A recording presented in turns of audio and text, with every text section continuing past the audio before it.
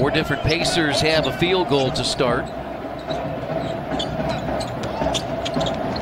And another dunk for Achiuwa. I'm telling you, they move it quickly, and you can see right there, lack of really communication.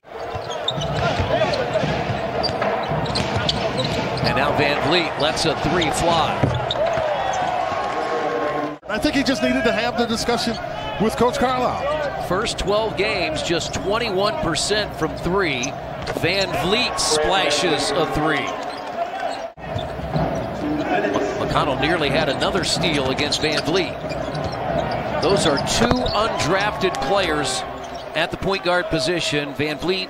They got their best perimeter defensive player on them in Craig. Oh my goodness. Keelan, after an 8 of 15 start from three point range, has struggled of late. Just four of his last 23 now. And the basket by VanVleet. That's that's part of what he's talking about.